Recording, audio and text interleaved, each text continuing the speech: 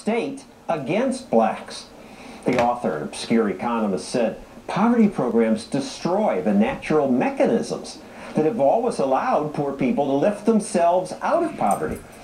Public TV then ran a program based on the book called Good Intentions.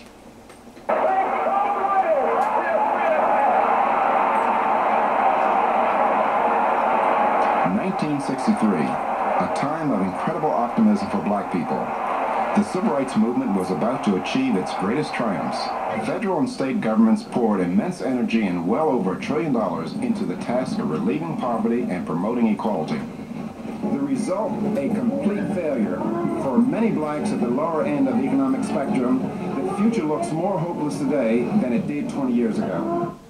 More hopeless today after trillions of your dollars in poverty programs? How can that be? Well, let's ask the man who said it 25 years ago, economist Walter Williams at George Mason University. So for the people at the bottom, it's just natural to assume that a handout would help lift them up. Well, that's that's that's a nice assumption to make, but it didn't turn out that way. There's a huge segment of the black population for whom uh, uh, upward mobility uh, is elusive.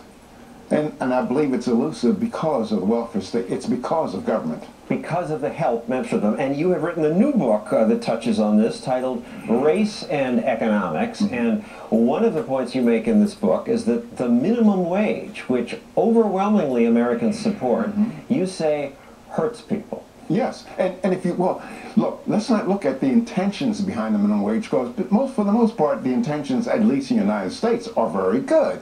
But we have to ask, what are the effects of the minimum wage?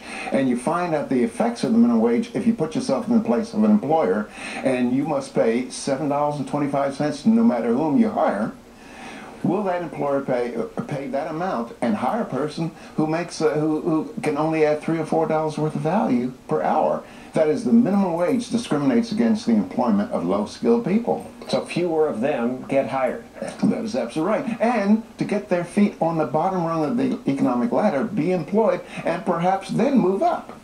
And yet when I talk to people about this, normal people, not economists, almost everyone says a living wage is essential. I think the minimum wage is necessary just to keep from exploiting workers. Of course. Why? Because people need money these days. People always need money. And 25 years ago, Walter Williams' documentary featured shop owners like this man who said he hires fewer people because of the minimum wage. I wish I could give more kids jobs because I have kids constantly coming up to me asking me for jobs, you know, and I can't give them the jobs that I that I wish I could give. If there were a uh, lower minimum wage, I could hire maybe two or three more. I used to work in a store like this. I broke out of the North Philadelphia ghetto nearly 30 years ago, and so did most of my friends. My whole crowd worked. Back in those days, just about any kid who looked for a job could find one. Today, in ghettos like I grew up in, 70% of black children who look for jobs cannot find them.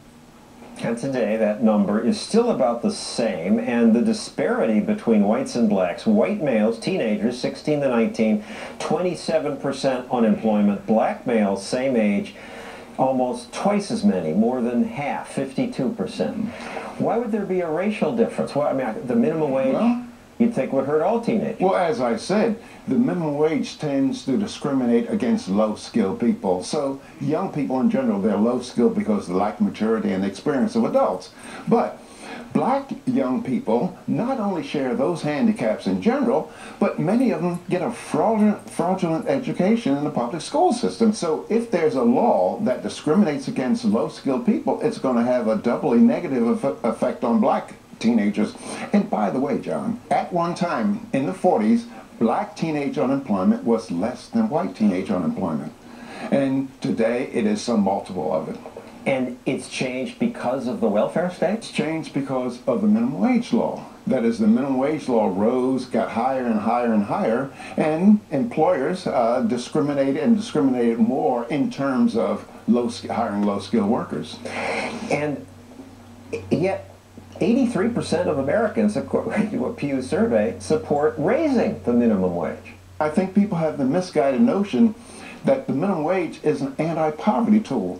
But that doesn't even pass the smell test because if the minimum wage law could eliminate poverty, you just go to Bangladesh, you go to Ethiopia, you go to Haiti and say, raise the minimum wage there and we'll you'll get rid of poverty. No, people are poor because for the most part they have low skills. If you could do it with the minimum wage, why 725? It's sort of cheap. We should raise it to 20 bucks an hour Or, or or 100 bucks. 50.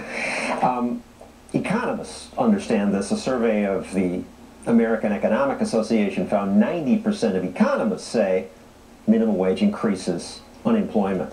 And you've called it a great tool of racism. Yeah, yeah. And matter of fact, some years ago, I wrote a book called South Africa's War Against Capitalism, and I did a study, study of labor markets in South Africa, and white racist unions in South Africa that would never have a black as a member were the major supporters of minimum wage laws for blacks, and their stated purpose was to protect white workers from having to compete with low-skilled, low-wage black workers. Let's now talk about welfare. Again, when I talk to people in the street, most everyone said there ought to be government handouts for needy people. People need the help. Yes, of course, especially in this economy. But 25 years ago, Walter Williams pointed out government handouts encourage people not to try.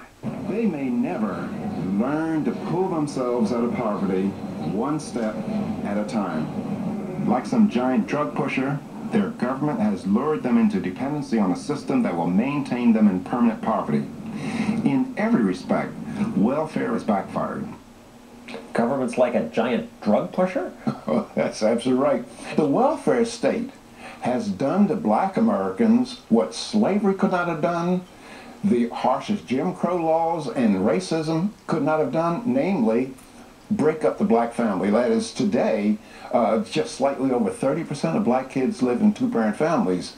Historically, from 1870s on up to around 1940s, and depending on the city, 75 to 90% of black kids live in two-parent families. Illegitimacy rate is 70% among blacks, where that is unprecedented in our history. Now, it's not just a matter of a racial thing. In Sweden, it is the mother of the welfare state, and illegitimacy in Sweden is 54%. And why does a welfare state create illegitimacy? Well, because look, if you if you subsidize anything, you're going to get surpluses of it, and if you tax something, you're going to get less of it. If you did not get welfare, then people would decide, I'm going to go out and get a job. I'm going to live more responsibly. I'm going to get married before I have children. That's right. Yeah. But you, the welfare state actually discouraged some men from marrying the woman. Oh yes, She the, would lose the check. That's right. The government has said to, to many young women, I am the father. Yeah, and so the father, black males, have become dispensable.